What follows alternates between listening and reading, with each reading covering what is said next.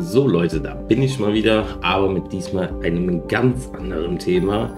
Nämlich, des Öfteren wurde ich halt privat angeschrieben, so nach dem Motto, wie viel verdienst du eigentlich, wie viel hast du bisher verdient, die Aufrufe und so, das kann man ja alles nachgucken, indem man einfach auf die Kanalinfo drauf geht. Das ist ja ziemlich simpel, aber in dem Video will ich euch wirklich mal zeigen, was ich jetzt seitdem ich Fortnite am Streamen bin, und die Videos gemacht habe, was ich halt so für Aufrufzahlen hatte und wie die Einnahmen sind. Ich meine, auf YouTube darf ich das Ganze machen, auf Twitch ist es ja verboten, aber das ist eigentlich auch ziemlich simpel beim aktiven Streamer auszurechnen, zumindest mal was die letzten 30 Tage betrifft. Nämlich da könnt ihr ganz einfach die Faustregel machen, pro Sub hat derjenige 1 Euro abzüglich Steuern noch übrig.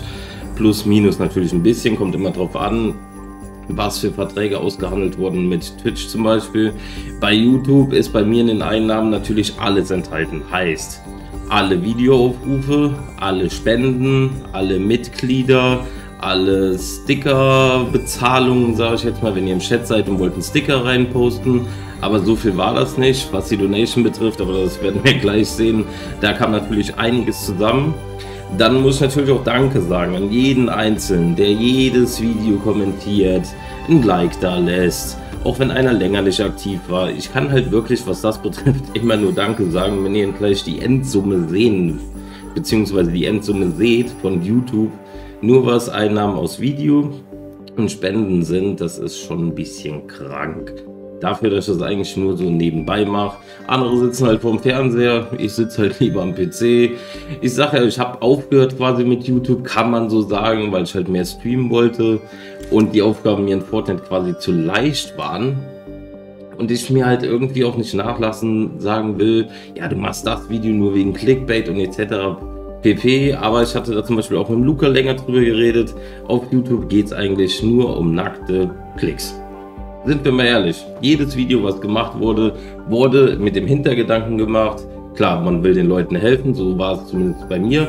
Aber natürlich, warum soll man nicht auch damit Geld verdienen? Im Prinzip kann es jeder machen, nur das Problem ist, es ist wirklich nicht einfach.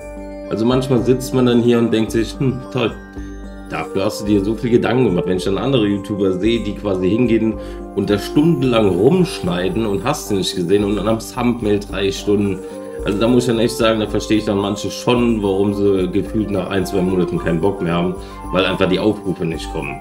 Aber ich würde sagen, wir reden auch nicht mehr so viel drum herum, denn ich denke mal, ihr wollt Zahlen sehen. So, dann gehen wir nämlich mal rüber. Also, so sieht das einmal bei mir aus. Das sind die letzten Videos. Aber gehen wir erstmal darauf, welches Video hat bei mir die meisten Likes, äh, meisten Aufrufe. Einige von euch werden sich 100 Pro an die alten Aufgaben erinnern. Ihr wisst ja, ich habe erst Season 1, 10? Ne, 10 habe ich angefangen. Da kommt zum Beispiel Eliminierung bei Risky Wheels der Risky Wheels, da fehlt sogar ein Oder. LOL, noch ein Tippfehler drin. Ach ne, da fährt. Ah, ich lasse immer die Kommas weg, extra. Weil ich immer Angst habe, sich bei den Kommas, wenn ein Komma ist, wird es nicht gefunden. Also das Video hatte 25.000 Aufrufe, dann Spezialistenehrung hatte 18.000 Aufrufe. Ihr dürft nicht vergessen, es kommen immer wieder noch natürlich neue Aufrufe, äh, da schon Aufrufe dabei. Deshalb sind da einige dabei, wie zum Beispiel Rette die Welt. Ihr seht selber 13.000 Aufrufe nur mit dieser einen Mission. Jeder, der Rette die Welt gespielt hat, weiß, das ist eigentlich nur eine Aufgabe, die in Rette die Welt ist. Keine, ganz ehrlich, ich kann euch nicht mal mehr sagen, was da drin vorkommt. Der eine oder andere wird wahrscheinlich wissen. Dann auch hier, klettere auf den höchsten Berg. Da sage ich ganz ehrlich, es war doch eigentlich ziemlich simpel. Dann, da, was ich halt wirklich heftig finde, sind halt 8000 Aufrufe auf Erziele Kopfschüsse bei Spielern. Da denke ich mir, hä? Wissen die Leute nicht, was ein Headshot ist? Weil, warum hat das 100 Kommentare? LOL. Eieiei. Und da sind halt so einige dabei. Auch hier das zum Beispiel mit Red Zama. Gut, da muss ich sagen, da gebe ich offen ehrlich zu, das war Clickbait, aber teilweise wollte ich euch auch davor warnen, kauft euch keine Skins, damit ihr einfach nicht euren Account verliert. Das war nämlich mein Haupthintergedanke. So, was haben wir denn noch? Äh, heile dich innerhalb von 10 Sekunden. Aber ich sage die Auf ich sage ich bin ein kleiner YouTuber. Also klar, manche von euch würden sich schon denken, boah, so hätte ich auch gern. Aber jetzt gucken wir mal der Wahrheit ins Gesicht. 23 Aufrufe hat das Shop-Video heute. Grüße gehen raus. Dann 16 Aufrufe hat jetzt das Video, was die, ähm, was den Switch Cup betrifft. Gut, hier sammle Barren, das ist die Wochenaufgabe. 96 Aufrufe, ernte Früchte, nur 22. Also ihr könnt nicht davon ausgehen, so nach dem Motto, ach, ich lade mal ein Video hoch von der Aufgabe und das knallt dann rein. Zum Beispiel, das hier ist jetzt mal wieder ein bisschen erfolgreicher, bringe ein Fahrzeug zur Tankstelle. Aber ihr seht ja schon, für 4000 Abonnenten in Anführungszeichen ist es halt schon wenig. So, dann, ihr wisst, ich habe mit Walheim ein bisschen angefangen. Da kamen aber auch einiges an Aufrufen zusammen, weil die 500.000 Aufrufe habe ich definitiv geschafft. Da geht natürlich auch wieder ein Gruß an euch raus. Also Walheim ist schon ein bisschen besser. Aber da hatte ich halt auch den Hintergedanken, das Spiel ist ziemlich gut. Also ich mache halt nicht irgendwie, ich mache nicht irgendwelche Tipps und Tricks, wenn ich das Video, äh, das Spiel an sich überhaupt nicht feiere. Also da sah ich schon direkt, dann habe ich überhaupt keinen Bock darauf, also sind mir auch die Klicks egal. Aber Valheim hat wirklich Spaß gemacht, beziehungsweise macht auch immer noch Spaß. Aber irgendwie gefühlt bin ich wirklich wieder auf Fortnite hängen geblieben. Das ist echt, es ist komisch. Es ist halt wie so eine Hassliebe in Anführungszeichen. Ja, dann geht es halt hier weiter. Ihr seht es ja, da 1000 Aufrufe, da 1000 Aufrufe. Aber zum Beispiel hier nur 64, hier nur 57. Und dann, was haben wir noch? Irgendeins war da noch. Äh, warte. Eigentlich das erfolgreichste von Walheim. Zum Beispiel Serversuche. Ihr seht, Surfersuche erfolglos, wie wir das hingekriegt haben. Daher, aber ihr seht ja auch Dislike-Like-Verhältnis. Ist mau. Aber dann hier Multiplayer-Server äh, beitreten, hat nur 46 Aufrufe. Aber Surfer wird nicht angezeigt, mit Lösung hat dann 1200. Also ist, manchmal ist es halt wirklich ein ganz schmaler Grad. Aber jetzt gehen wir in die aktuellen Zahlen rein und natürlich, was ich bisher verdient habe. Achtung, jetzt sind wir im Live-Bereich. Also in den letzten 28 Tagen habe ich 27.000 Aufrufe. Ihr seht selber hier vorne Anfang des Monats beziehungsweise das hier sind ja immer 28 Tage, welches Datum war hier? Am 5. Februar 127 Aufrufe, 200 Aufrufe. Aber ich muss sagen, ohne dass ich irgendwas gemacht habe. Ne? Also das darf man dann auch nicht vergessen. So, geschätzter Umsatz in den letzten 28 Tagen jetzt 50 Euro. Ist nice. Und ganz ehrlich, bin ich auch wirklich zufrieden mit, um Gottes Willen. Aber ihr wollt natürlich mehr wissen, weil die letzten 28 Tage, gehen wir mal allein nur hier die Woche hier die Woche 23 Euro. Ich sag ja, andere sitzen halt vorm Fernseher, ich setze mich halt an den Rechner und das ist halt nur wirklich wegen Aufgaben, Wahlheim, Livestreams, warte, lass mich überlegen, Livestreams, ne, kamen auch keine Spenden rein, also das ist jetzt wirklich nur durch Aufrufe. Dann gehen wir auf 90 Tage. Und da seht ihr ja selber, Videos hochgeladen, nichts. Einfach nichts hochgeladen. Deshalb auch hier an meinem Geburtstag 52 Cent, 16 Cent, 21 Cent, 2 Euro. Gut, warum hier? Warte, wo ist die Spitze? 3 Euro. Ich habe keine Ahnung warum. Aber ihr seht auch Abonnenten natürlich auch verloren. Ist natürlich klar, einige spielen kein Fortnite mehr, es gibt besseren Content. Um Gott, ich sage immer wieder, ich schneide nichts, ich mache das nur als mein Hobby, fertig. So, jetzt kommen wir auf die letzten 365 Tage. Da sind wir dann schon bei 459 Euro.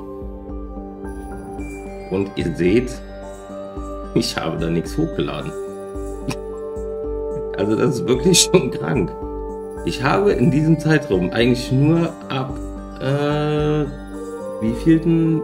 Am 19. glaube ich, habe ich, ja, am 19. müsste es gewesen sein, die ersten Videos hochgeladen. Hier die Aufrufe sind alle nur von alten Videos.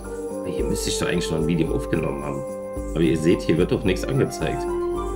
So, aber ihr seht auch 169.000 Aufrufe ist 51% weniger. Also ihr wisst, dass davor kommt meine YouTube-Zeit in Anführungszeichen.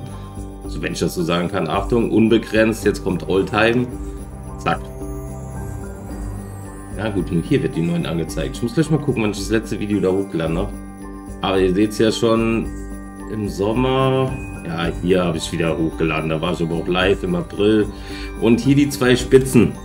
Die Leute von euch können sich erinnern. Das ist, wo ich die 200 Euro jeweils an einem Tag gespendet bekommen habe. Und da seht ihr einfach mal, warte mal, bleibt stehen. So viel bleibt mir dann von 200 Euro hängen. 200 Euro wurden donated und es kommen ja noch die Aufrufe an dem Tag dazu. Also wenn ihr wirklich Geld spenden wollt, dann tut es wirklich bitte einfach über Tipeee streamen, weil da wird halt nicht so viel abgezogen und nicht über YouTube. Aber ihr seht schon, da bleibt einiges hängen. Und geschätzter Umsatz insgesamt 1167 Euro. Und da ich ja noch Kleingewerbe habe und das hier alles offiziell läuft, kann sich das eigentlich sehen lassen. Und ihr seht 516.000 Aufrufe. Bevor ich quasi wieder angefangen habe, hatte ich, glaube ich, lass mich lügen, 495.000. Aber auf jeden Fall, auch da kann ich nur sagen, vielen, vielen, vielen Dank an alle. So, jetzt haben wir noch den Umsatz. Warte mal. Ja, hier seht ihr zum Beispiel im Februar hatte ich 39 Euro, im März sind wir jetzt bei 11 Euro und da war ich total inaktiv trotzdem kommt Geld rein. So, jetzt kommen die Videos mit den höchsten Einnahmen. Das war da einmal, wo halt äh, das Geld gespendet wurde. Seht ihr, Transaktionen, das immer dann, wenn Spenden reinkommen oder Mitglieder. Also reine Videos ist im Prinzip das erste mit Eliminierung. Das hat mir jetzt 41 Euro gebracht. Probezeit Einfach nur rette die Welt, einfach nur die eine Mission gemacht, aufgenommen. Ihr guckt euch das Ganze an, 41,14 Euro. Also es ist schon, und so geht es halt immer weiter. Aber ihr seht halt, das ist immer dann euer Support in, anhand von Spenden, Mitgliedern. Also da kam halt auch schon logischerweise einiges zusammen. Man kann das nicht so auffiltern. Ja. Also wenn man sich das alles dann zusammenrechnet, was von euch dann reinkam, ist natürlich deutlich weniger durch die Auf. Äh, Im Prinzip habe ich dann nur durch Klicks, reine Klicks, im Prinzip 600 Euro gemacht. Oder? Berechne ich mich jetzt? Ja, 600, ja, 700, ja, 600? Leute, mein Mathe ist gerade ganz los. Ne, noch nicht mal. Ach, hier steht Leute. Ich bin hier groß am Rechnen, hier steht's. Also allein nur mit Klicks halt 561 Euro. Mit grob 500.000 Klicks. Also die goldene Regel zählt halt immer noch. Pro 1000 Klick hast du einen Euro. Und ja, was wollte ich eigentlich noch zeigen? Das war es eigentlich schon soweit. Wie gesagt, ich wollte euch einfach mal Einblick geben, wie die Zahlen so sind, weil manche immer denken, oh, oh, oh, du musst ja schon, was weiß ich, wie viel verdient haben. Es ist schon ordentlich, um Gottes Willen aber es ist nicht so viel, wie manche denken. Aber wenn man sich die Zahlen dann anguckt, weiß man auch, was die Großen verdienen. Aber die Zahlen sind ja auch stellenweise offengelegt. Und in dem Sinne, das war einfach nur mein kleiner Einblick. Bei Twitch kann ich das Ganze natürlich nicht machen, die erlauben das nicht. Bei YouTube ist es erlaubt. Und in dem Sinne, danke nochmal für euren ganzen Support. Und ich hoffe, wir haben noch eine erfolgreiche Zeit, allein was Streams betrifft, Videos. Und in dem Sinne, haut rein.